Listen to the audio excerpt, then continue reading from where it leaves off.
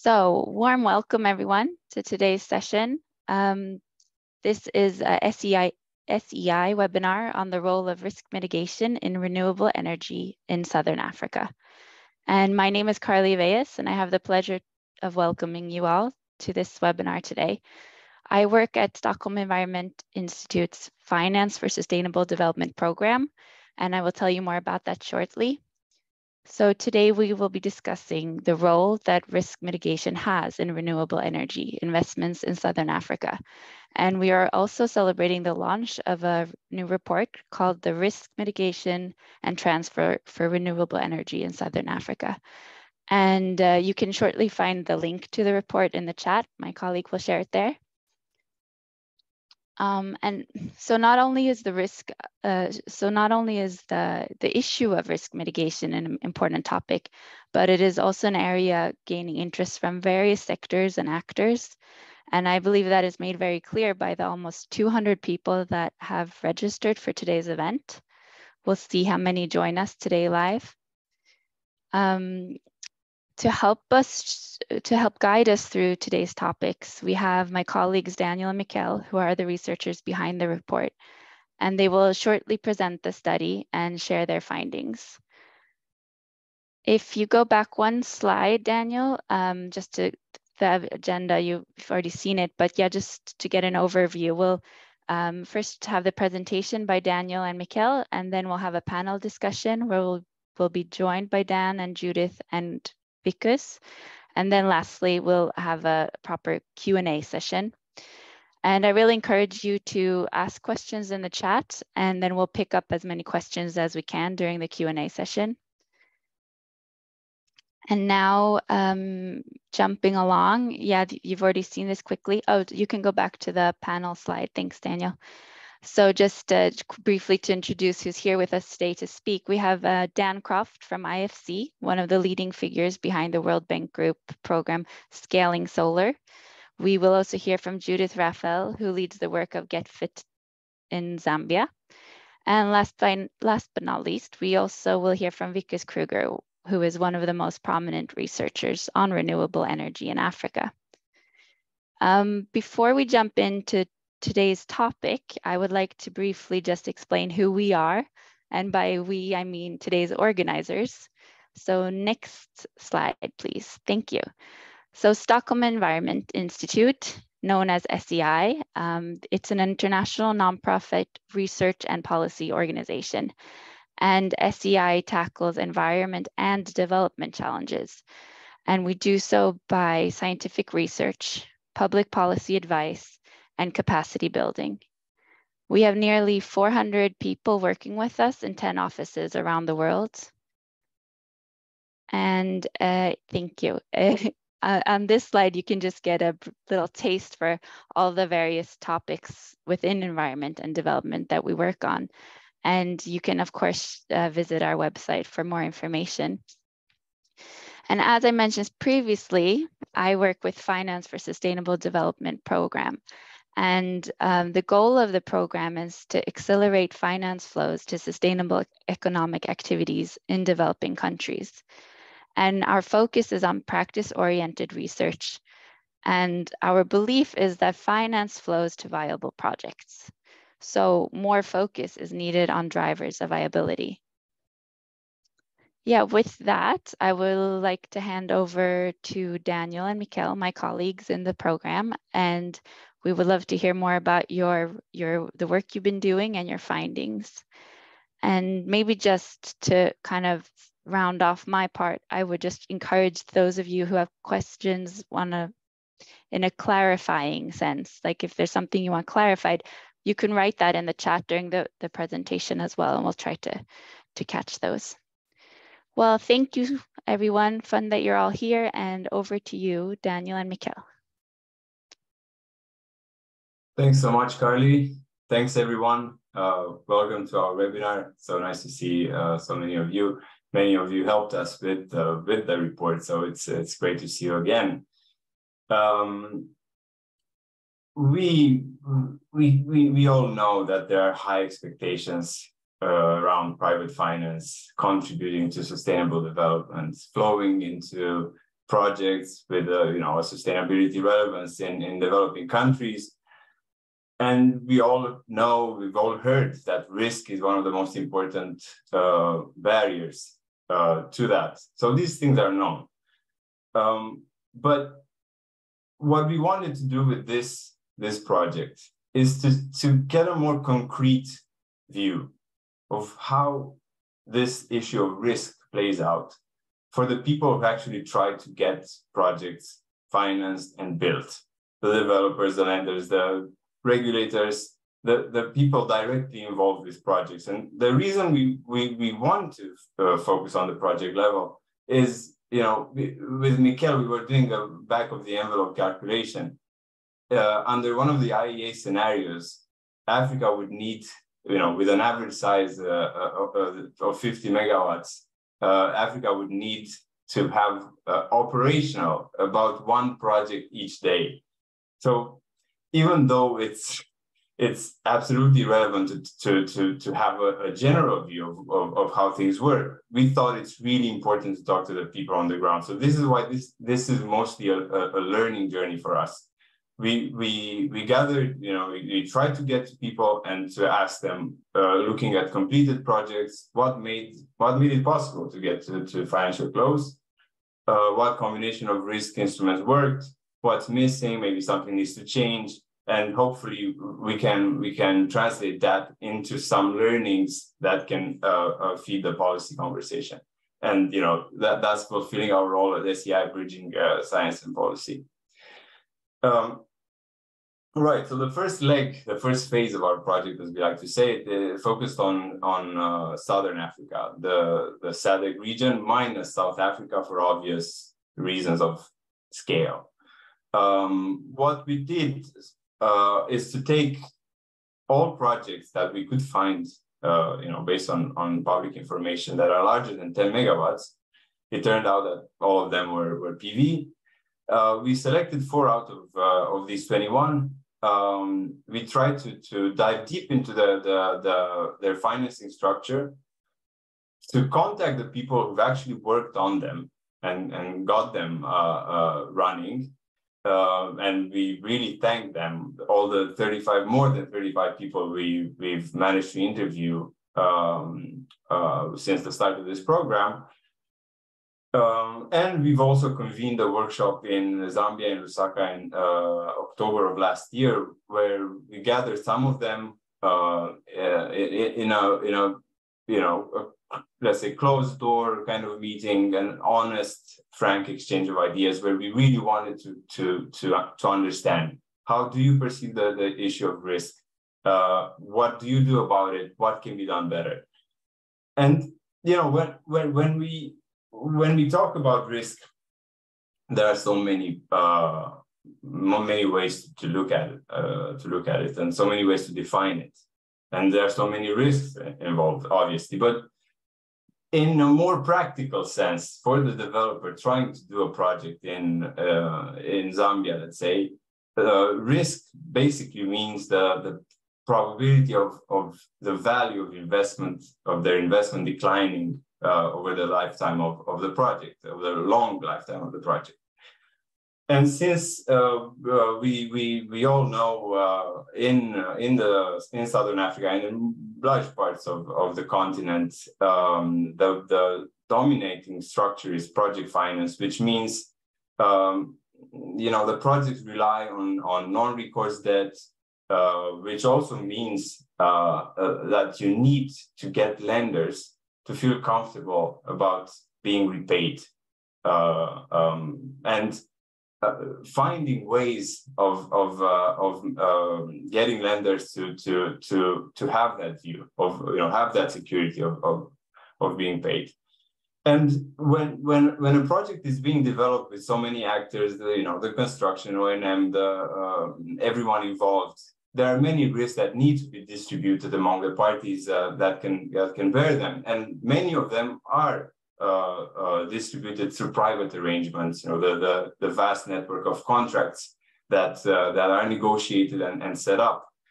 Um, and this is not that different from, from other geographies.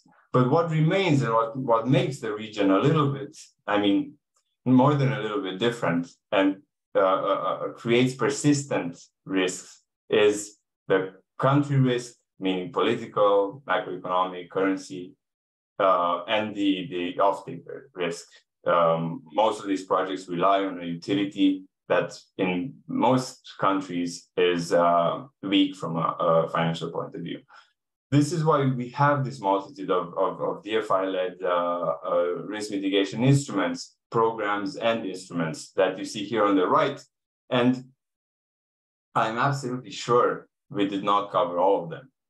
So even, even looking at the, this uh, limited number of projects, and the ones, uh, the, the programs and, and instruments that were active or offered in these uh, uh, projects, we, we see already that there's a multitude of them, which, you know, we, will be, we'll, we'll discuss later, also means something. And by, by looking at, uh, at, at these uh, projects, successful projects, and the risk mitigation instruments that were used, we see a number of stories emerging. Um, the first story is that you know in some of the countries the complexity of the risk architecture is absolutely obvious like um, you, you you can see that uh, the approach was whatever it takes to to get the first project on the ground in some of the uh, the countries that belong to this uh, uh category of, of, of least developed countries you see um, up there in, in, in, Malawi, we have the Salima project. Uh, only you know the, the, the number of, of, uh, of DFIs involved um, and the risk instruments used is illustrative. We have uh, MIGA offering a sizable uh, guarantee with IDA support from this private sector window. You see the liquidity facility of ATI intervening and uh, backstopping the, the the power purchase agreement. You see the the, the viability gap uh, um, viability gap uh, grant from from the PIDG uh, and FMO uh, equity investment into the developer. So. Uh, on top of the, the policy risk mitigation that that uh, Millennium Corporation, Challenge Corporation did, um, looking at, at Mozambique, at Mocuba, um, we see a similar picture with with the embassy of Norway uh, providing a grant for the transmission line that was uh, then contributed in kind by, by the by the utility.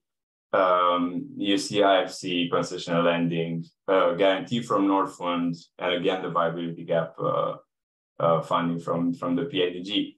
So you you can see this story emerging. It was about getting the first project in countries that did not have any experience with, with renewables and achieving that demonstration effect.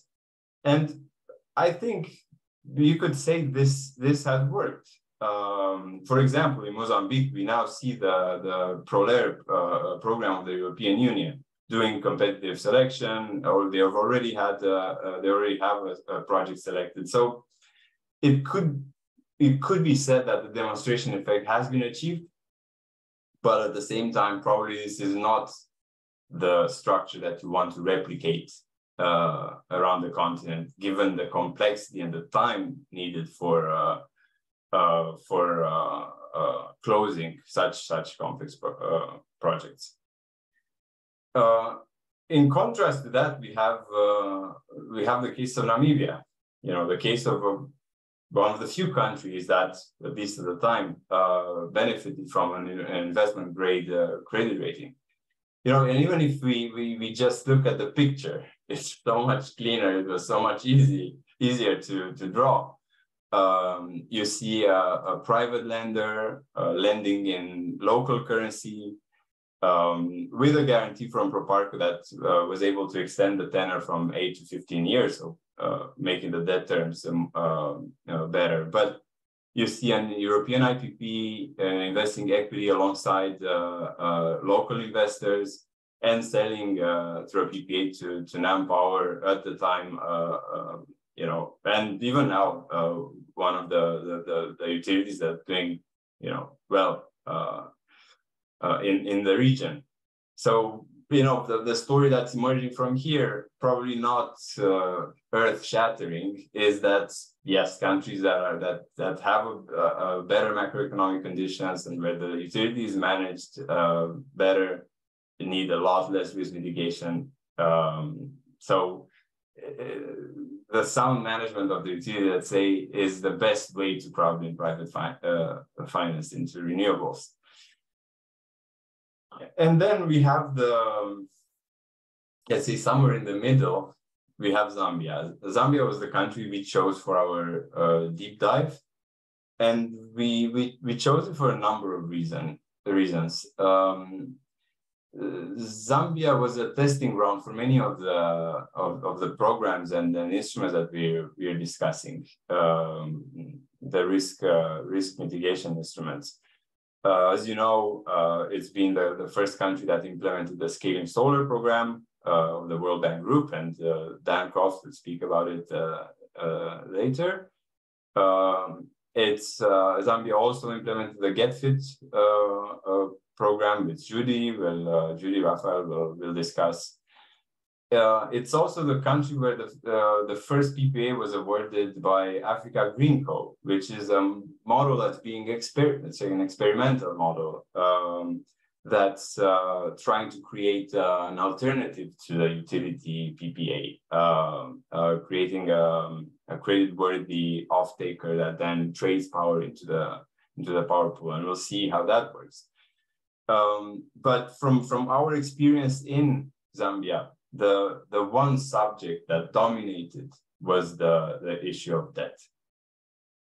The the sovereign default, the IMF package, it was uh, as I said, dominating the conversation. Maybe you know, uh, maybe we have news about that from from we, we've recently heard uh, in Paris there's been some agreement on on debt restructuring and maybe things are improving. But uh, this was the uh, one of our conclusions. In a country that's trying so many things, uh, the, the issue of debt is probably going to lead to significant delays in, in climate critical infrastructure. So these have been the, the let's say the three emerging stories uh, from our uh, project so far in Southern Africa, and uh, I leave it now to Miquel to to uh, take us through the findings and, and recommendations. Thank you, Daniel. Um, maybe before I go into the findings, also mention in the context of our program, we did this in, in Southern Africa last year. We're now replicating this research in West Africa, in ECOWAS region. So we look forward to also have a workshop this fall in Accra. And so if any of you is working or interested in, in West Africa, renewable energy finance, please do contact us because we're replicating this work. So some of the findings, uh, and these are like the, the big picture findings, and I, we do encourage you to go into our report, and you have the link in the chat. So please, uh, please go there if you want to uh, go in detail on what we mean. There's many pages of this. Um, but basically, one of the main findings is uh, uh risk mitigation and transfer instruments, RMTs for short, they are necessary but not sufficient. So by necessary, what do we mean is all the projects we looked at, maybe with exception of the one in Namibia, would not have reached financial close without them, even the one in Namibia. So it was a necessary ingredient for them to happen, but it is not sufficient. They are not enough, for instance, for new projects to, to deal to reach financial close uh, in under current situation, as we will hear, for instance, uh, from the GET FiT case. Um, so then they are definitely not enough to to overcome the current uh, debt issues. We also found that uh, that RMTs have been very effective up to date. We don't know what the future, but up to now, they have been very effective in the operational phase. So those projects who got on the ground and got uh, operational with RMTs, uh, their investment value has been protected so far uh, through the use of RMTs. We, we believe mostly through a halo effect from what we have heard. Um, but again, they have limits to what they can achieve. So RMTs are good at pushing good projects over the line. They definitely do not put, push bad projects, which I think is a good thing uh, because we don't want the bad projects to come through. So we, there are in some cases, there may be negative effects on the public finances of the countries due to currency issues and to the issue of guarantees and liabilities. But overall, once we take the pros and the cons, we reach the conclusion that so far RMTs, the way they're designed, they do not lead to moral hazard, um, even though they, they may uh, be perceived as not as creating incentives to or disincentives to reform uh, for utilities. They also are, uh, in all cases, we saw uh, accompanied by by all these side measures to improve governance and, and capacity building, which basically offset those potential uh, side negative effects. So we we reach the conclusion that they do not lead uh, to moral hazard. We also offer four high-level recommendations. The first one is we need to make it work under that distress. So we have an urgent situation, both for climate change, but also for the needs of development and energy in the, in the region. So we do need those projects to come online urgently. We also have a, a reality on the ground that is we have that distress and we have many countries which uh, the public finances are, are suffering and particularly uh, the issue of guarantees, renewable energy projects in the region will not happen without public guarantees. So we do need to make it work. We need we do need the guarantees to somehow happen under a debt distress situation. Now, how that happens, it's a, we don't know. But one specific proposition we do is when there is a debt uh, restructuring package, do make an explicit clause about what's going to happen to guarantees for climate critical infrastructure. And what the clause is, is not as important as the fact that it's there and explicit, because otherwise what happens is this in, introduces so much uncertainty into the financing of the projects that just spelling this out takes a couple years and this all this time is lost. So recommendation number one, actionable recommendation, include explicit clauses addressing climate critical infrastructure guarantees in the debt restructuring packages. The second big issue, as everyone who follows the issues knows, is currency, right? Currency exchange, renewable energy projects in particular, they are very capital intensive. Um, they are hard currency. Uh, the equipment is bought in hard currency. So we do have a currency issue. The revenue is in a long stream revenue in local currency. So the currency risk is critical. Um, there's many, as we saw from the meeting in Paris and other initiatives, the Bridgetown initiatives and others. There's, it's this is something that is in the radar uh, in the international agenda, how to deal with currency. We come with the proposal that let's create a currency safeguard. So the same way that DFIs have uh, social safeguards and environmental safeguards, let's create a currency safeguard. Let's create a, a safeguard that ensures that if lending in hard currency is detrimental to the development mandate of DFIs, then let's do something about it. So what we ask is for DFIs to create a protocol, and this protocol should be particular to each DFI according to their own uh, way of operating, but let's create a protocol to, uh, for a currency safeguard that establishes at what threshold lending in hard currency is not acceptable. And when that happens, then please do not stop lending. We do need the lending, but let's make sure that the currency burden is shared. Uh, so either through subsidized by the DFIs or shared in some other mechanism, and we make some proposals on that on the paper. Again, we invite you to read it. Another um, recommendation we make is regarding the transaction cost. So we you saw that table that Daniel presented. There was about the 10 or a dozen uh, instruments, but the reality is in sub-Saharan Africa, there's over a, there's nearly 100 instruments uh, identified, for instance, by an excellent report by RES4Africa. So there's nearly 100 instruments um, for somehow financing and mitigating risk uh, in the region. But, and, and we won, by the way, we won many instruments. Some will fail, some will succeed, but we do need uh, as all of the above approach because we do need to accelerate uh, deployment in the region. But, but the fact is these instruments, they're all different. They're not standardized. And what we hear over and over and over again from the developers on the ground is we don't know what's out there. We cannot compare them. Uh, if we want to engage with an instrument, we if we want to know what the instrument is about, we need to deeply engage with them. So so we so there's a huge transaction cost. Basically, in order to know what's what's around, we need to engage with the instrument, and that takes time, that takes energy, that costs money. So there is a cost. We need to help navigate that. We need tools tailored for developers um, to to help navigate this this variety. And the last one, and I know I'm out of time, so I'll, I'll go it quick, but and, and this one is not new, but it just has to be repeated uh, over and over. DFIs are development, emphasis on development finance institutions. So we need to leverage the D. We need to leverage development part. We need them to lend where others cannot lend. We hear uh, and in some cases that's happening, but we hear from stakeholders on the ground um, that in many cases uh, DFIs are perceived uh, to operate uh, in a very risk-averse manner, even more risk-averse than commercial entities, uh, and that they did not fulfill their development mandate. So even though it's not new, we just have to say it again. Please do leverage the in DFI. And uh, thank you. With this, uh, we look forward to discussion, but I'll pass back to Carly. thank you. Thanks, Miquel. Um, well, I um, I did see that there was a question in the chat, uh, but it's about the PowerPoint. If we can share this afterwards. Yes, thumbs up. So I suggest that those who want the um, the PowerPoint send me an email, and I'll write my email address in the chat shortly, and then I can send it out. But now I would like to invite Dan to take the floor. Dan Croft from IFC. Um, would could you tell us a bit more about scaling solar and um, yeah, if you have any reflections on what you've heard also. Sure. Thanks, Carly. Um, good uh, morning, afternoon, evening, everybody. And it's nice to see some familiar names in the participants and, and to meet some of you uh, for the first time as well. Um, so just by way of introduction, um, I think on the flyer I was billed as IFC Scaling Solar. Uh, that's just a procurement program, and I'll say a little bit more about it. Um, formally, I'm the regional upstream manager uh, for infrastructure in Africa, based in Accra.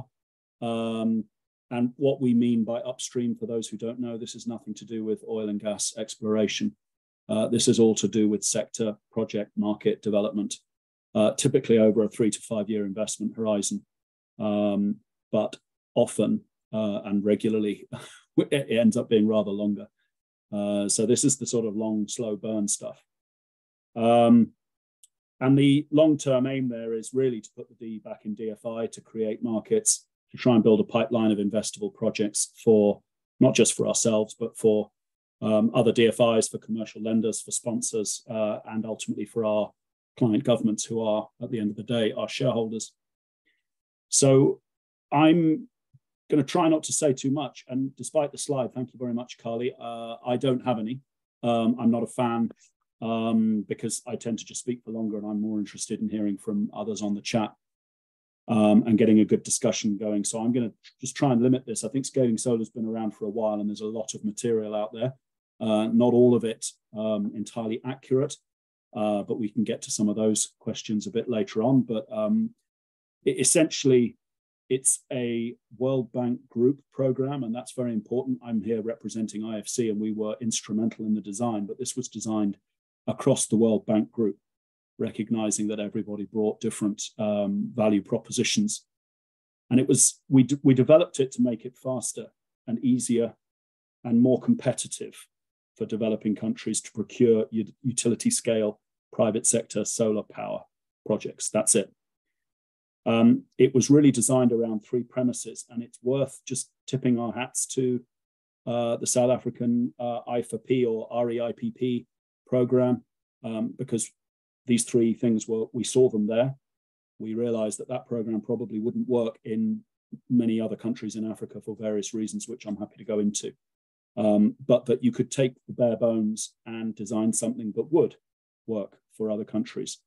And those three basic elements are transparent competitive tendering, which I'll be saying quite a bit more about, pre-negotiated and demonstrably bankable template project and procurement documents, which need to be fair and balanced to all parties, and then a package of World Bank Group support to the governments and to the private sector, uh, which are available from project inception all the way through to financial close and onto operations. And some of those were listed in the introductory presentation, the, the RMT instruments. Um, but my working hypothesis is that risk mitigation goes way beyond instruments. And I'll be saying a little bit more about what I mean by that. When we started, we saw low solar prices or increasingly low solar prices everywhere except sub-Saharan Africa. And so as a as as a DFI, we we sort of asked ourselves why that was when there was so much solar resource, uh, and it must have been a higher perception of risk. Um, I'm sure that for the more inland projects, there are also higher costs. Logistics kicks into this and uh, availability of equipment and warranties and all of those things. But ultimately, it's all about a higher risk perception. But what we saw when we first started talking to the government of Zambia, who were our first client, was that uh, the prevailing offers from uh, developers, unsolicited proposals uh, looking for negotiated deals, were around 12 cents a kilowatt hour. Uh, and that was typically without any resource mapping and no costing of fundamental equipment either, or no detailed costing. So that was a thumb suck, which logically, had it been accepted, must have been designed to allow considerable contingency and fat to enable the developers to get to financial close before they actually breach their own return requirements. Less than a year through the program we designed, we halved that to six cents. Uh, it was actually about nine months.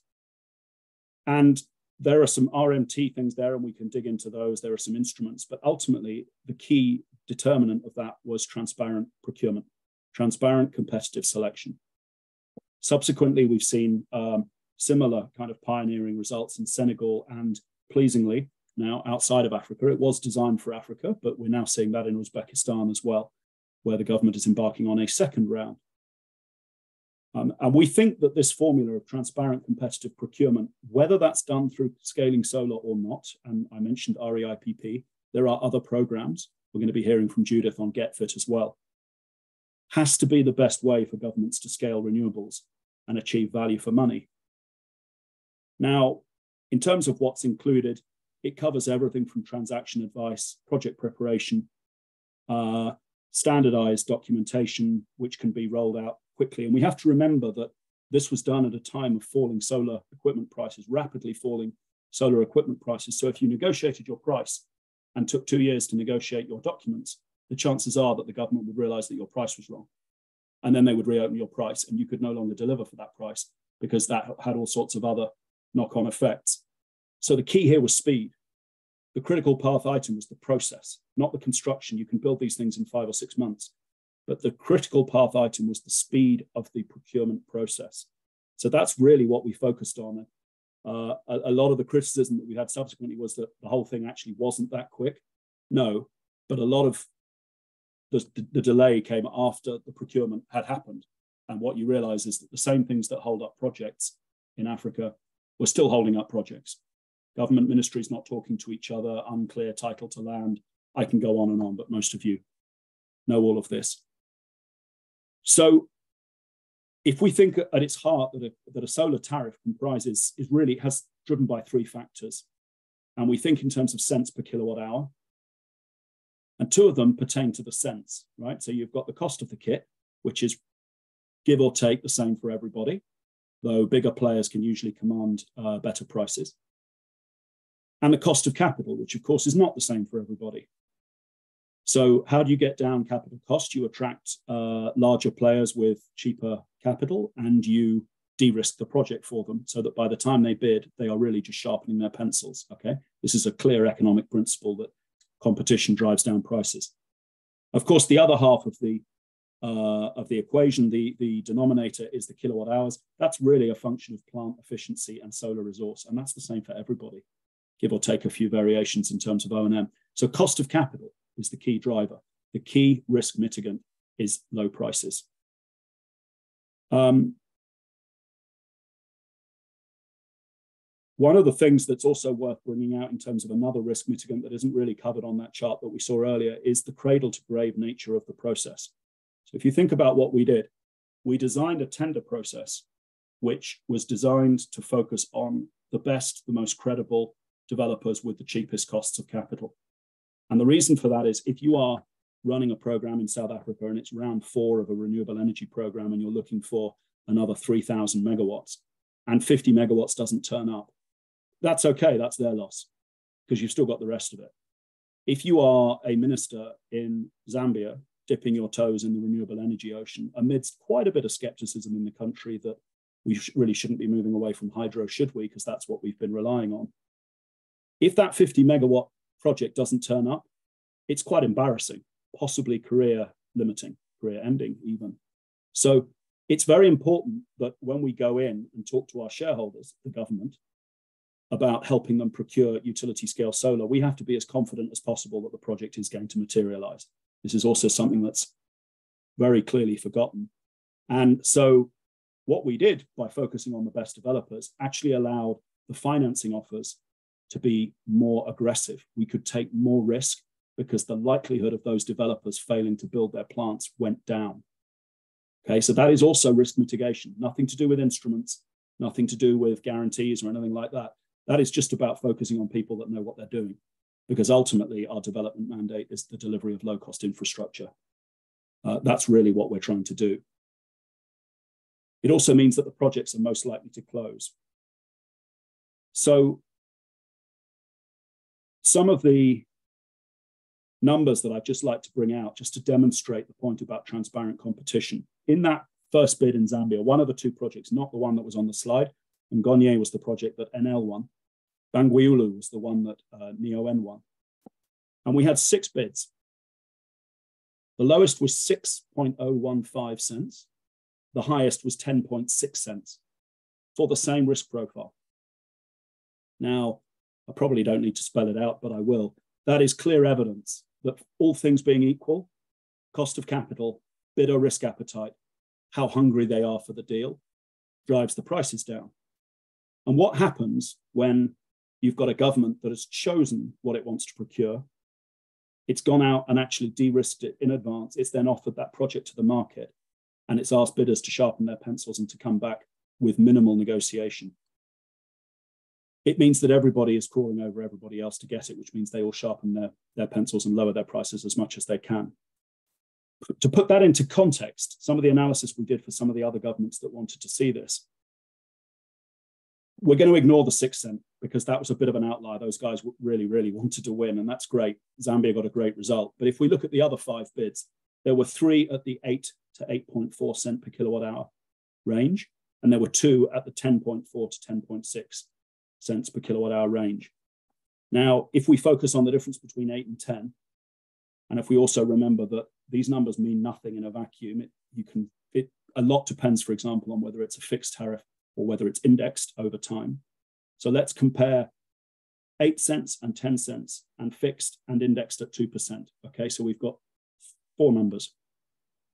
If we look at fixed, the difference between 8 cents and 10 cents on a notional 100 megawatt plant with the same solar conditions as there were in Zambia, the difference is 60 million to 160 million over 25 years. So that's 100 million more from 2 cents per kilowatt hour on the uh, tariff. If we look at it indexed, it's even worse. It's not 60 million then. Over 25 years, the government will be paying 170 million for power. And at 10 cents per kilowatt hour, they would be paying 300 million. So the difference there is 130. Now, if we go back and we imagine that from the government's perspective, this is fundamentally a public procurement, they're buying a service. And I hear everything about dollars and Forex, but until plants are actually, until equipment is made in country, these are going to be dollar denominated assets. They can pay the dollars up front or they can pay dollars over the life of the project. But fundamentally, that's just a reality that everybody needs to deal with.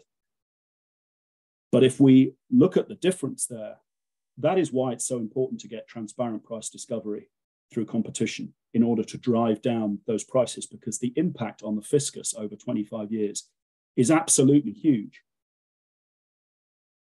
Let me wrap up. So, some key messages. It's not just the RMT tools, they're important, but it's not just them. It's also a de risk project and a competitive process.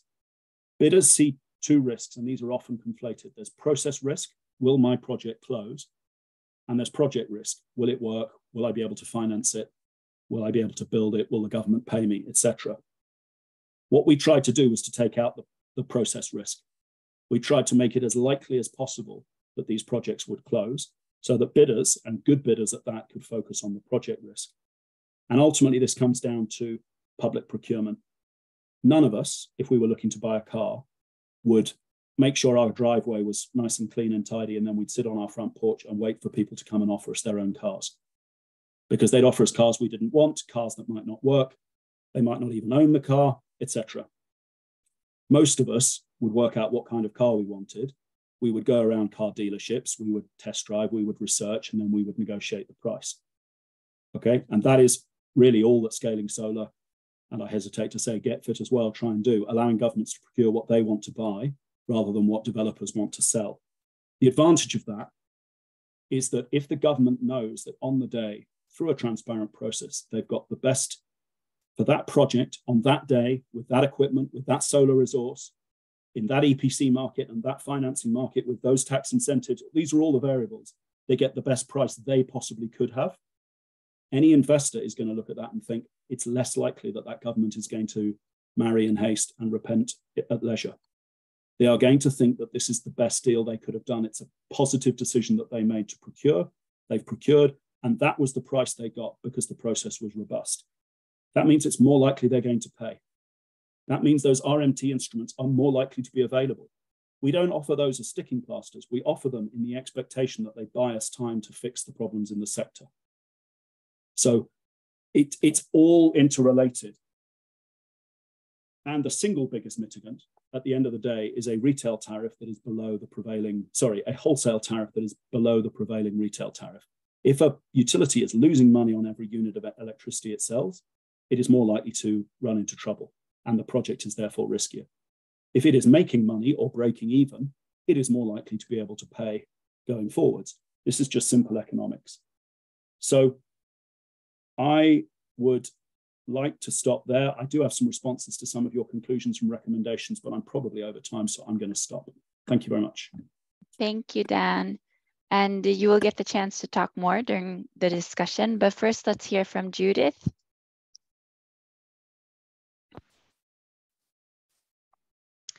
Good afternoon, everybody. Hope you can hear me. Yes. Okay, great. So you can move to the next slide. Uh, unlike Dan, uh, I usually talk longer if I don't have slides. So I try to have a few slides just to guide my thoughts a little bit. so basically, I'm here to present on uh, GET FiT Zambia. Uh, key question maybe is who or what is GET FiT Zambia? So GET FiT Zambia is really the implementing program for the government's refit strategy. And I'll, I'll speak about that a little bit more later. The program is being funded by KfW, um, through the German government. Um, and it's a grant of approximately 41 million euros. The primary purpose of the program is really to promote uh, investment in renewable energy by private sector entities. So that was the key driver. The grant provided by KfW, uh, and I'll also speak about that uh, uh in a bit more uh, on the next slide, but but the key element of the, of the grant is not to provide financing to the, to the projects. I think I often get the question, why isn't KfW just financing the projects? So KfW is um, an entity that only extends financing to public entities such as the government of Zambia or ZESCO. It doesn't lend to private sector entities. So probably a key point. So what then is the 41 million for? It's essentially for grants, uh, element that we call viability gap funding, and also what we refer to as uh, the grid facility. These two elements arguably provide some de-risking to the projects, but um, also meant to help with uh, affordability. So a bit more about the program on the next slide and uh, what we ultimately intend to do. So essentially what I would say is the program was designed or is aimed at uh, being a catalyst um, for future, or rather to encourage future private sector investment. So KfW is hoping that by implementing uh, the program, and uh, what you see on the slide is what we call our toolbox. Um, by implementing this, we are hoping to improve framework conditions for private sector investment in Zambia to such an extent that GET FiT would not be required in order for government to move forward. So the idea is implement the program in a manner where you can hand over the documents, the framework to the government to continue with implementation. So what is the toolbox? So for those that know Zambia, they are, and I think especially over the last uh, two years, uh, there's been a lot of interest by private sector entities to invest in the country. Uh, a lot of entities have got what they term here in ZESCO feasibility study rights. But I think what a lot of the developers uh, and IPPs are struggling with is a, is a clear path to market. And I think Dan has actually articulated it well. It adds to the cost or the tariff that ultimately the utility pays because there's no certainty. So developers are spending money on development um, work, but they're just never sure if they will ever be able to secure uh, a PPA with the entity. So similar to scaling solar, what we, what we aimed at achieving is to provide a competitive uh, procurement platform. Um, aim on our end really is to work together with the Ministry of Energy, similar to scaling solar, coming up with a set of uh, procurement documents. So um, RFP documents together with standardized um, what we call project uh, agreements, which includes PPA, IA, uh, and a grid connection. Bankable. And we use that in order to tender out um, projects to private sector.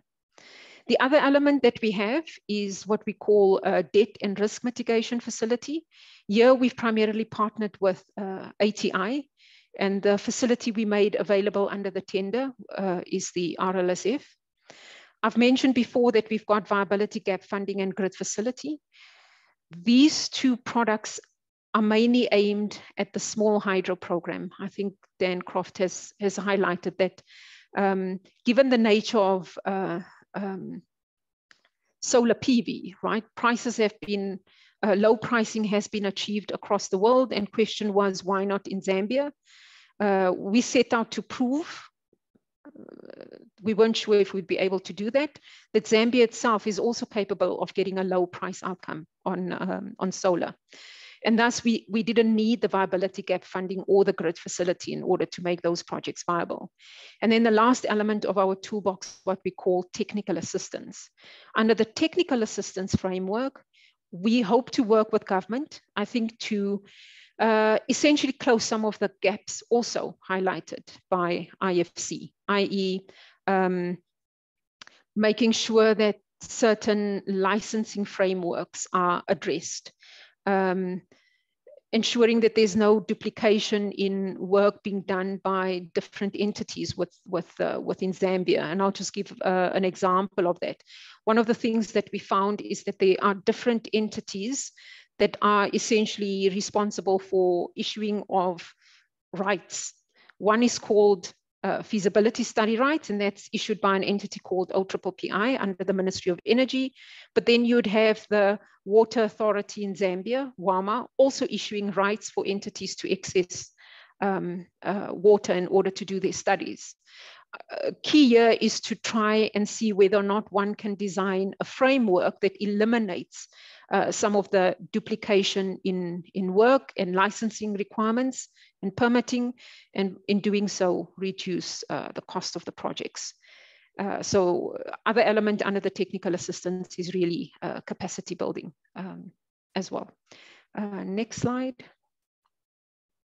The next slide is just meant to demonstrate, I think as soon as it changes, it's meant to demonstrate uh, our key tenders. So under the refit strategy, we had a 100 megawatt allocation under solar PV and 100 under um, what we call, uh, or rather under um, small hydro uh, power program. How we decided to, to, to run or how we are running the two processes are very different. Um, our approach has also been very different. Uh, I'm not quite sure if you guys can see the next slide. I'm still on the GET FiT toolbox. Okay, there we go. So this is essentially the two programs or the two um, technologies for which um, we've been um, that we've been allocated the the the refit strategy. So solar PV tender. That one we started the auction process, and as I mentioned, it's a reverse auction process. We started that in 2018.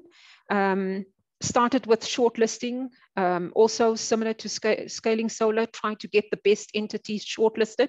So had very, very stringent and very competitive criteria. Um, key thing, and, and, and maybe primarily part of what's the difference between scaling solar and GET FiT. And again, it's not that the one is right and the other one is wrong. It's just two approaches to achieve different outcomes. Personally, I think both can work in a market. Governments probably just need to decide which is more appropriate for for which te technology, etc., etc. But but both certainly, um, in my view, could could work. Our approach was really to allow the developers to take all of the upfront risk. That site selection, uh, doing feasibility studies on those sites, trying to secure the land, trying to ensure that they've got uh, appropriate connection to the grid. The only thing that we did under the tender was we provided a list of feasible um, transmission or distribution connection points, whether it was a line or whether it was a substation um, that developers could connect to. So they would know upfront whether or not their bids would be successful because for those that could not connect to the, to the grid, they would obviously be disqualified. So there we work quite closely with, uh, with ZESCO. On the hydro, not going to say too much about it, but essentially under that tender, it's refit based. Um, we work together with ERB, which is the Energy Regulation Board, in order to determine refits. Um, idea there really was to try and keep the refits as, I would almost say, as low as possible to the extent uh, feasible, uh, in the hope that uh, some of the developers could um, execute projects within that refit. And for those that are, are not able to do so, this is what we call viability gap funding.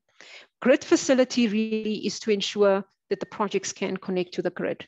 So one of our key learnings in Uganda was the fact that many of the projects were able to complete construction. This is small hydro pro projects, but then didn't have any access to the grid. Uh, the government, I think at the time had indicated that they would be responsible for the grid. But uh, unfortunately, I think given their delays, projects went ahead, they implemented, waiting for government to uh, complete the grid. And so grid risk was sitting with the government. Under the GET FiT part of the small hydro program, we're trying to avoid that. Uh, so trying to de-risk the, the program and cost for the government in that regard. Uh, maybe just to mention, both our projects have got um, a portion of indexation. So on the solar PV, um, 10% and under the hydro, 15% of the total price is indexed. So where are we with both programs? Uh, needless to say, as I said, started in 2018. I think we had really high hopes together with the developers. I think much enthusiasm uh, around the program. Um, we had also managed to complete um, within record time, the, the, the, the, tender itself, I think probably seven months. Uh, and by April 2019, we're able to announce um, who the winning bidders were. They were all awarded development rights. Uh, those entities I've listed there, Red Rockets, Globeleq Solar, Innova, those, and then uh, Innova in partnership with the local Zambian entity called CC. Uh, I think, unfortunately, as we, and I don't know how many of you have been following developments in, in, in Zambia, um, at the time we launched the tender, yes, there was an IMF program that uh, was being put in place. Um, there was also uh, sector Judith, reforms underway. Yeah. I just want to let you know uh, that you need to soon wrap up. Okay, so um, I think this is almost the last slide. There were also sector reforms underway. Um, and at that point, um, I think unfortunately th things didn't go uh, as planned. A cost of service study was underway, it unfortunately got delayed. Um, and once all of that happened, you know, we had uh, financiers basically uh, deciding to suspend uh, funding uh, in Zambia, also primarily driven by uh, the fact that um, uh, government had defaulted on the debt. So essentially now where we are with the with a with the solar projects, we're still waiting for financial close. Uh, and then under the hydro program, I've said quite a bit on that. The only thing I'd mention there is hydro uh, RFP for now is on, on hold. Uh, I think the last slide just essentially speaks about, I think, some of the elements that uh, Dan has already raised, so I wouldn't go through that. But essentially what we are trying to achieve is to ensure that we've got affordable tariffs for the utility. we're hoping that that by having tariffs that are below average uh, selling price, so wholesale, wholesale tariff or PPA tariffs below selling price would help as an element of de-risking projects because it would ensure that the utility is able to, to, to sell that. Um, yeah, key things that we're now working on in to ensure uh, financial or rather to ensure that projects can move forward is really to try and see whether or not we can uh, work with lenders um, in order to look at other risk mitigations that will enable the projects to move forward. So uh, that's essentially concluding on, uh, on what's on the slide.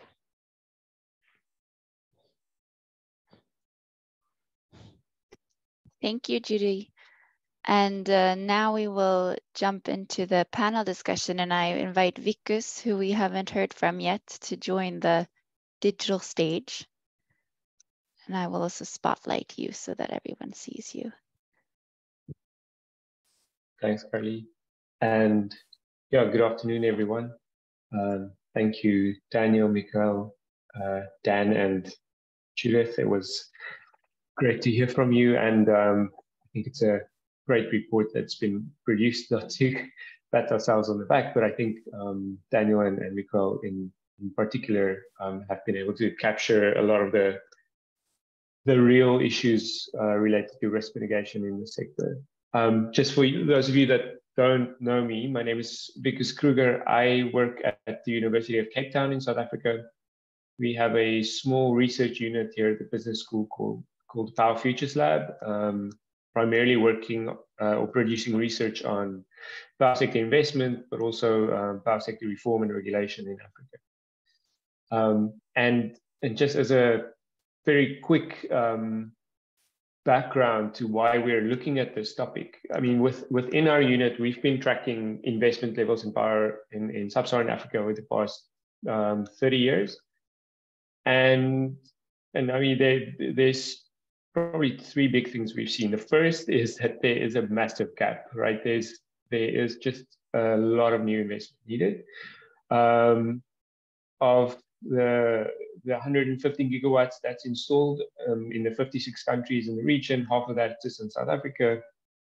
Um, 90% of the remainder is, is shared among 15 countries. And then we have, you know, 23 countries with systems smaller than 500 megawatts, seven with um, systems smaller than 100 megawatts. So uh, it, it leaves a big uh, gap in the sector. Um, and, and the need for scale is is uh, incredible. The other thing that we've seen is that renewables are taking off, um, and the investment levels have increased substantially. Um, but they're not uh, kind of near the levels that we need, and so there's still uh, much more work being done. And, and the, the risk mitigation instruments and uh, products that are being used are welcome and I think make a big difference as as uh, Daniel pointed out. But there are still very serious questions around how how one scales these. And so my first question, Dan, is uh, Dan Croft, for you. Um, and yeah, there's there's been a, a lot of um, criticism thrown at the scaling solar program for various reasons, and I I don't intend to go into all of them right now, but one of them is that the program has promised more, especially in terms of scale, than it's been able to deliver in, in especially in Africa. Um, and and I'd be curious if you can just unpack a little bit more what what exactly it is, right? The ambition of the program was always to to scale um, and to um, you know to unlock the benefits um, that you get from from running such a kind of a, a large program with a with a um, significant backing from from the World Bank Group. But um, at this stage, um, there have been a lot of announcements, but not necessarily all that many results. And so maybe you can just help us understand what those results are and or what the reasons are and kind of where where risk mitigation um, instruments sit within this story uh, and, and what the limits are to these. Sure. Um, so I think to put this into context, and again, another very sort of simple analogy, not about cars this time, but about um, manual tools. So if we think in terms of a hammer, and let's imagine you've never seen a hammer before, and I show you a hammer and say, okay, assuming you had big enough muscles and you never got tired, you could probably hammer in something like 3,000 nails in a day, a normal working day. You say, thank you very much. And then three years later, the hammer's still sitting on the desk where I left it. And you say, but you promised me 3,000 nails a day. I didn't.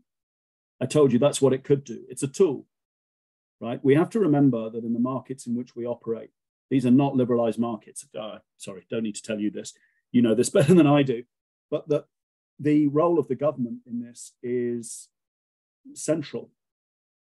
Um, what we did was create something which any government could pick up, tweak. So that was a learning for us. It was not quite as standard as we thought it might be. And of course, that was probably pretty obvious, you know, um, but it, it, it always has to be tweaked for local public procurement law, for the intricacies of grid connections and who takes forex risk and the role of the utility and the creditworthiness of the utility, et cetera, et cetera. But it's something which could be picked up.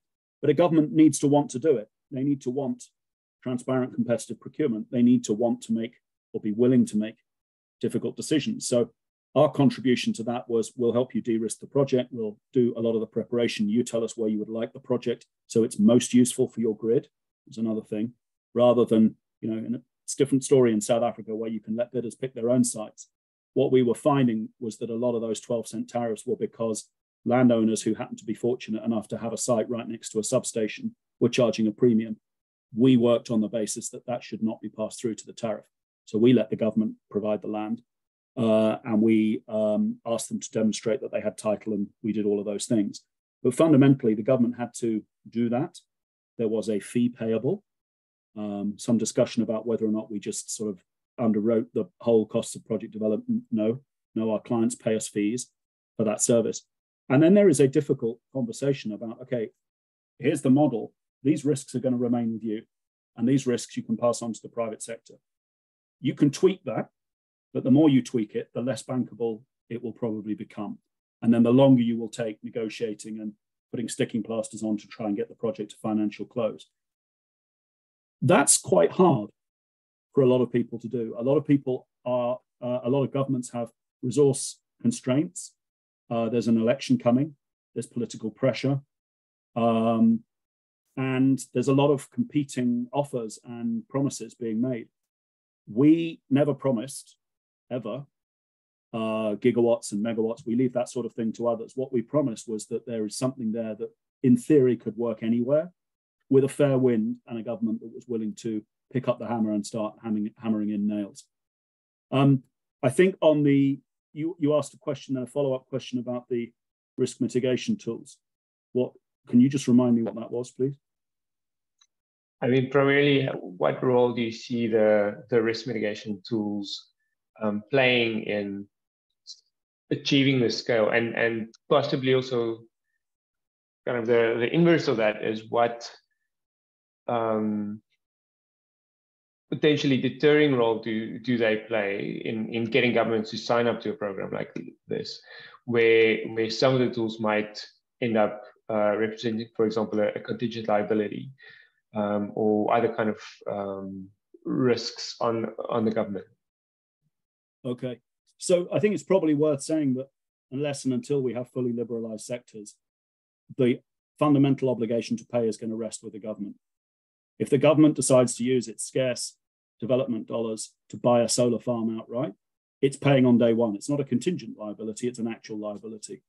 If they decide to do more of the sort of hire purchase uh, model, the sort of PPP, IPP sort of thing where you pay over a period of time, as we all know, when you uh, involve lenders, you end up paying more in absolute terms, but it's more manageable and you can pay out of operating cash flows and revenues, right? But the, the payment liability is on the public sector either way. So the, the idea that somehow because it's a contingent liability, that's a bad thing, it's already there, right? So it, it, I, that one, what I think the focus needs to be on, and I mentioned this through the transparent competitive procurement, is by running the tender process and getting the tariff, the wholesale tariff down below the retail tariff.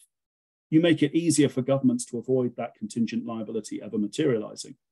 You can see if they're selling at seven cents and they'd signed one of those agreements at 12 cents.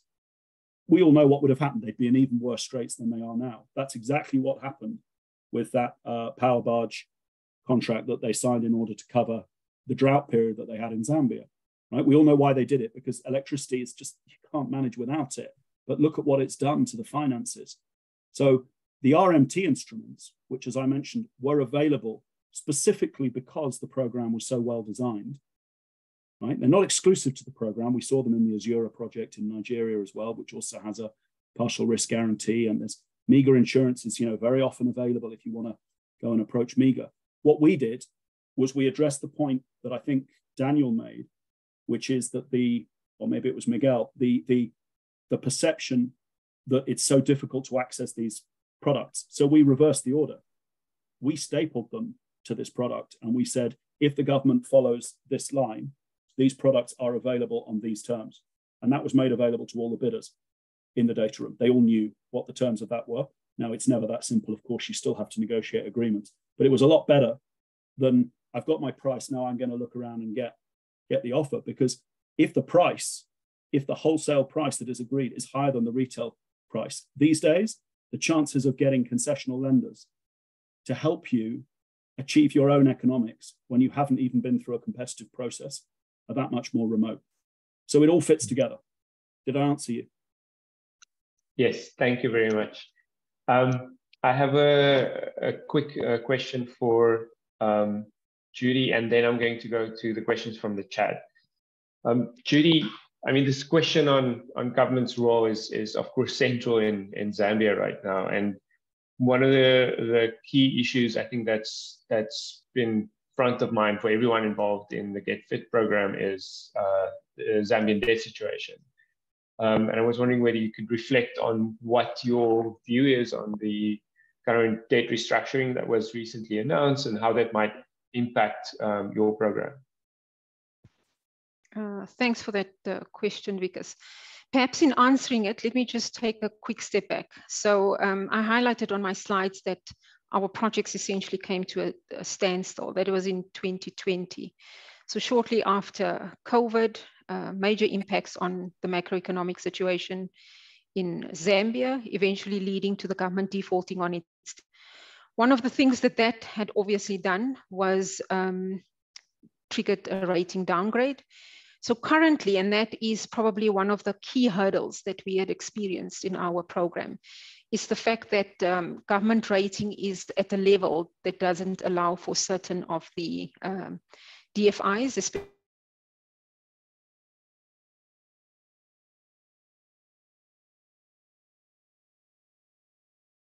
I think we might have lost Judy there for. Yeah, unfortunately. Okay. Judy, we will get back to you, I hope, um, once connectivity is restored. But maybe let's go to one of the questions that we've got in the chat, which was specifically posed to Dan. Um, it's it regards the relationship between the lenders and the, the SPV or the project sponsors and what happens when there are disputes between the lenders and the, and the uh, sponsors of the SPV um, after a close has been reached. How do you deal with that efficiently and quickly um, without putting the viability of a, of a project at risk? So, I guess the slightly generic question. It's going to depend largely on on the nature of the dispute. Uh, if we have a particular reporting requirement, so we want to see quarterly financial statements or pro forma balance sheets or whatever it is, and they're not being provided, we have a conversation with our client. It's a private conversation. Doesn't need to go any further. We have clients and client relationship managers and portfolio managers, and we speak. That's what lenders do when there are problems arising, contractual differences um, in a financing. Nothing new there or strange uh, I think probably the question might have been aimed more at issues where there is a dispute between some of the external parties and the project company, the SPV that we have financed. And then we have to take a, a holistic view. The thing about those contracts, and I speak as a, as a, as a lawyer, and this is why I'm not a lawyer anymore, is because they only take you so far. Um, it can say what it likes, but ultimately, if you built a plant, you're not going to take it away. Very few of them are actually have any sort of resale value at all. You're not going to take it away. It's all about making sure that you have the tools at your disposal to try and encourage the government to pay. You know, one is if you stop paying, you won't get any more investment. It's pretty obvious, uh, but you might do in a few years' time. But you know, fundamentally, why don't you carry on paying? Because you want people to come and bring resources and investment and expertise and partnerships to your country. But that's one of the advantages of being a DFI. And I, I, I hear everybody that it's great when the commercial market can just take this up on their own as they do in South Africa. We didn't finance a single solar PV or wind project in South Africa in any of the rounds because we weren't needed. The local banks did that role, right? They weren't available pretty much anywhere else where we've looked with, with scaling solar. And one of the things that bidders at least like about us and, and other DFIs being in the room is that when there is a, an issue, we can try and address this sensibly through a conversation with the government, through convening power, through our annual meetings when we meet with these governments and we have conversations. So, it, you know, we you will probably find us and anyone who has any experience of this, the nuclear option of legal enforcement is really just that. It really is a last resort. Nobody likes it, and it's not good for development.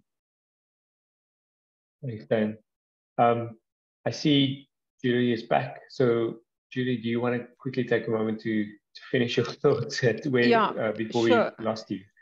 Uh, okay, sure. So just coming back to the debt restructuring, personally, I, I think it's it's quite significant. One of the things that was highlighted by Miquel on the slide um, is really the lack of um, DFIs really stepping in, right? When when I would almost say when they most needed.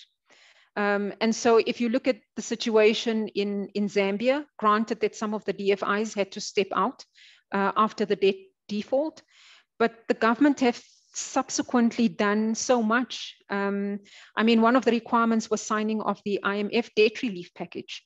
They signed the staff level agreement in record time. They signed the IMF um, debt restructuring deal one, uh, uh, sorry, the IMF debt relief package uh, one year later. Uh, granted that the debt uh, restructuring had taken longer than, than planned. I mean, the president had indicated that they'd hoped it would be done in a couple of months. Everybody had hoped that. It had taken longer. And what we had always tried to convince some of the DFIs is everybody knows that it will be done. So why not have faith and start a, a process maybe of due diligence and start working towards project implementation? Why wait until the debt restructuring is actually concluded? Um, I think a lot of the DFIs have unfortunately taken this, this approach. I certainly think that the deal that was concluded uh, is good. Um, bits and pieces are coming out in terms of what exactly is being concluded. But one of the requirements from the lenders, um, at least, has been the signing of, of the MOU. I think what's being concluded paves the way for the signing of the MOU, but unfortunately, I think the MOU uh, signing still needs to needs to take place. Uh, maybe one thing that I want to mention is that we have fortunately managed to find a lender. Uh, I'm not sure if I can mention them, but DFC from the US um, that is now willing to consider um, financing the, the, the projects within the current environment. Um, one other thing I quickly need to mention is we are trying to also look at more sustainable uh, uh, risk mitigation mechanisms, uh, specifically looking at the, the utility. So it's not only a question of adding uh, one um, type of guarantee or liquidity facility uh, after the next, but actually working together with the utility to say, what is it that they can put in place in order to give lenders comfort going forward? Uh, and so that's now a new ongoing initiative that, um, that, that we're working towards, um, and hopefully we can conclude something shortly. Thank you, Judy. Just a quick follow-up question on, on the debt restructuring. One of the conditions initially from the IMF was that the government of Zambia was not able to provide sovereign guarantees. Um, and as Dan explained, in, in a context where you have state-owned utilities um, that are often not able to charge cost-effective tariff, that that effectively means that the offtake risk of these projects sits with the government, um, and that that needs to somehow be uh, contractually guaranteed. Is is that still the case in in the kind of restructuring um, context? Because that's also one of the main um, recommendations from the report that that these kinds of carve outs for renewables projects and climate investments are needed in in these state deals. Yes, so I think that's that's a very good question and probably a critical question. Um, I mean, I think it's, um, I think either Daniel or Miquel showed it on their presentations. it, it's simply not possible to conclude any private sector IPP uh, at this stage, uh, given the rating of most countries, most utilities, uh, without um, termination guarantees. So I think maybe that's just the first point. I think the second point is if we look at the IMF framework, it, it essentially puts a debt ceiling on. So basically, they did a DSA, debt sustainability analysis. And they've come up with a maximum level, which they call the debt ceiling, that the government can borrow. So this is the challenge. They've kept the amount of money that the, that the government's able to borrow. And then in addition, what they said, that cap includes guarantees. So the only way, so number one, government is limited in the amount of money it can borrow. It has other social projects, other infrastructure projects that it needs to consider. And arguably, financing needs to go towards those projects and programs. So you're left with the private sector to help with implementation. So if you put the same conditions, or if you say that private sector falls within that ceiling, you can see that it's, it's, it's simply impossible for government to implement IPP projects, which are critically required in order to drive economic growth, because that's what you need for the mining sector, agricultural sector, et cetera, et cetera. One of the things in our discussions with um, the IMF and, and, and also this lender that we've been speaking to is we wonder, and I think it's the same thing that Dan has raised, whether or not IMF really understands the type of guarantees that are sitting under the IPPs. So um, I think I had the same conversation with Daniel. It's not, it's not payment guarantees, it's termination guarantees. So essentially, all the government is doing is standing behind a contract, right? And this contract that they're standing behind is a contract where their utility has agreed to buy certain services or to buy a product, a product that they can resell, resell at times at a profit that would help them to repay IPP payments. Um, and so certainly the nature of it is fundamentally different. It's fundamentally different, I would say, to a normal uh, uh, guarantee for debt, because guarantees for debt, payment guarantees. These guarantees that we're having under the IPP framework is not similar. It's um, one of our partners under the program is Trinity, and Paul will tell you it's basically a doomsday scenario. It's in the event everything goes wrong, ZESCO or the utility continues non-payment. What would happen under that circum under those circumstances? You would put a plant to the government, and all they're doing is they guarantee to buy the plant for that value. So yes, they've got a liability, but they've also got an asset, and that asset can generate income for them. So, so one of the discussions that we also need to have in order to conclude um, on the on the GET FiT projects is probably to have this discussion with the World Bank and the IMF to ensure alignment on our understanding of the nature of these guarantees. Number one, uh, number two, to understand that projects just simply cannot be implemented without them. Uh, and thirdly, as, as one of the financiers said very nicely, IMF needs to understand that what it's buying is growth, because without implementing IPPs, you just simply won't have um, electricity. So economic growth would just continue to slow. Hope I answered the question.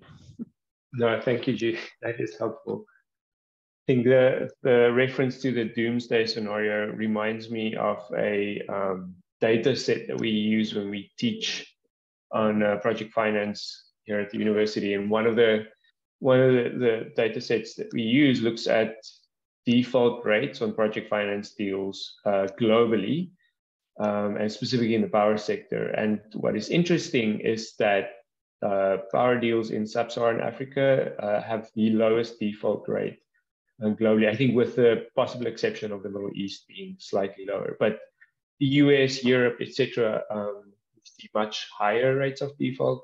And so there are obvious questions around risk perception versus reality, possibly also the fact that many of these projects that we are uh, developing are kind of gold plated often in terms of how much risk mitigation is is um, uh, you know, part of the package, um, and whether that might be too much or or or not enough.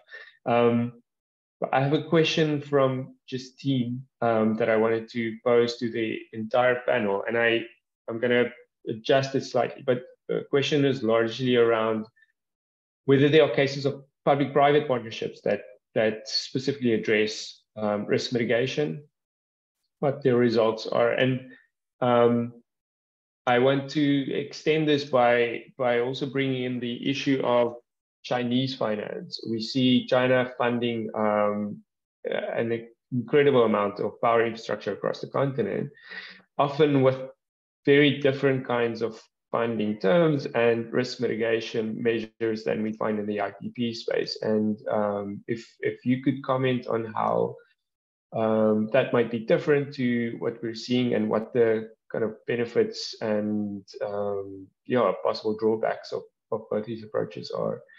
Um, to any of the panelists that are happy to speak to this I'm going to open the floor to you?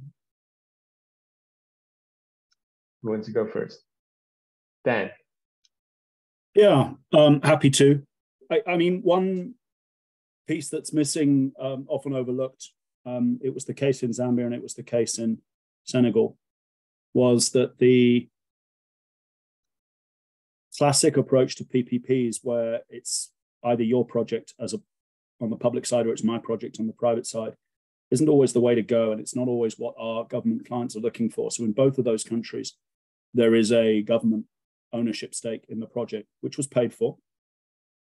So no free carry that drives up the tariff.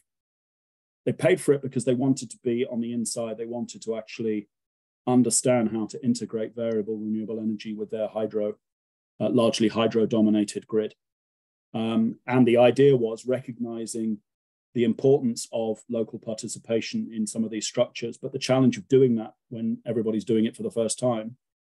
In the end, the best model we came up with was that the government decided that for every one of the scaling solar projects, and there were intended to be more until the sector hit, hit the buffers, um, the government would have this stake, it would be housed in a single vehicle, and then ultimately it might be floated uh, on a stock exchange uh, for anyone who wanted to participate in these projects to participate. And that was seen as the most democratic way of sharing the benefit amongst the local population as a whole. Um, that may still be a work in progress. I'm, I'm no longer working with the government on that project. But that to me is another risk mitigant is that if you spend time rather than just handing over a suite of documents saying my lenders want this, otherwise there's no project. If you spend time working with the public sector side, trying to find a model that works before you even go to market, and then everybody understands what deal they're doing, and the government is involved both as an owner and as a customer, they can see the relative trade offs between a more balanced or a less balanced contract. They understand both sides of the, of the equation. This must be more sustainable and therefore the risk must have been mitigated. That is very much a PPP model that we believe strongly, and certainly I personally believe strongly, and I'm doing it in hydros as well. Involve the government on the ownership side of the table and make sure that everybody understands the deal they're doing because they're far less likely to try and unwind it if there is good institutional memory about how they got there in the first place. I'm, I'm gonna I'm gonna come My, in now. We only have okay, three minutes sure. left, so I just want to acknowledge the time. Uh, this is I hate interrupting, and I mean a great discussion. Penny, I don't know if you have a super short question in two sentences or less. Uh, if not, I'm gonna give the. So do you? Can you do that, Penny? Yeah, very quickly. Dan, hi, it's Penny. You know, my hi, probably know most of my my concerns, but just briefly. I mean, I hear you on on on the listing, but I can't help because of the scars I have on Umeme in Uganda, raised the issue of what the terms of the exit are and how favorably skewed the terms of some of those concessions and etc structures are for those initial initial investors. I, I, I think the Umeme an example in Uganda is disgrace. And, and, and that was done via, you know, some of your own, um, your own um, entities um, contribution. Uh, and, and yeah, I, I think let me leave it there. I think there, there's, there is merit, absolutely merit in, in, in, in ownership, got no doubt. But the how, the why, the process is a very different discussion. I'm afraid we aren't being honest. Thank you very much. Uh, and I'm afraid we're not going to have time to address this properly. No, I'm going to answer it, give, Miquel, if I may. Sure, but uh, before that, I'm just going to give you 30 seconds each to you, to Judith, uh, to Wikus and Kruger, and to Daniel. If you want to have a last remark, and you may address this here, and then I'm going to bring the meeting to a close to respect everyone's times. Thank you, Daniel. Floor okay. yours. Uh, so, I mean, I'm, I'm, it's different. I won't go into detail because I can't. It's, uh, I'm not entirely sure what Penny's point was, but uh, I'm you know, I was involved in that project tangentially before I joined IFC when I was with Globeleq and the Actis family. Um, and then with IFC, I'm guessing when she said some of my sister entities, she must have meant that. Just to clarify to everybody, everything I've said on this call, I'm being quite honest, really very honest indeed. So uh, just to be clear, I, I refute the suggestion that I'm not being honest. Judith. Just a few closing remarks from my side. So firstly, thank you very much uh, for hosting this. Um, uh, key thoughts on my side is, uh, yes, risk mitigation tools, um, guarantees, etc., are, are important. But I think if one looks at long-term trajectory um, in, in Africa, the need for projects, uh, the amount of cost that these things do add uh, to the projects, uh, because they none of them uh, come at no cost. Um, one ultimately has to find a sustainable solution. I think um, we're hoping to try and see if we can achieve something under GET FiT. But I think what I'm, am trying to say is cannot continue with uh, guarantee and risk mitigation structures into perpetuity. At some point, uh, one needs to focus on working with the utilities in order to come up with uh, structures that are more sustainable and arguably uh, more affordable. So that's just that on my side. Thank you very much. Thank you, Judy. Wikus, any last remark? No, I just want to agree with Judy. I think, um, again, to remind ourselves why we are facing the situation where we need these guarantees is that we are um, in most cases, um, asking the private sector to sell to uh, government owned entities that are not solvent, um, even though commercially they should be and they have um, the ability to be. And so, um, better governance, better structuring of the sector, I think, will go a long way towards unlocking investment. And we see that happening in the case of Namibia. Um, and I think that's that's something that we we do need to take into account when we think about guarantees. As as Judy said, it's it's not a um, it's not a sustainable, scalable solution for uh, yeah for the long term. Thank you. So on behalf of Daniel and myself and SEI, I want to thank everyone for participating. And my personal takeaway is the hammer um, metaphor. So this is a tool, it needs to be used. So we can get 3000 nails in a day with a hammer. Maybe if we turn into a nail gun, we can do it in one hour and spend the rest of the day doing something else. So I thank you everyone for participating here. Please download the report. Uh, please visit our website on behalf of SEI and the Finance for Sustainable Development. Thank you very much. And I now bring the meeting to a close. Thank you. Thank you. Bye. Thank you very much. Cheers. Thank you. Thank you. Thank you very much. Bye bye. Thank you. Yeah.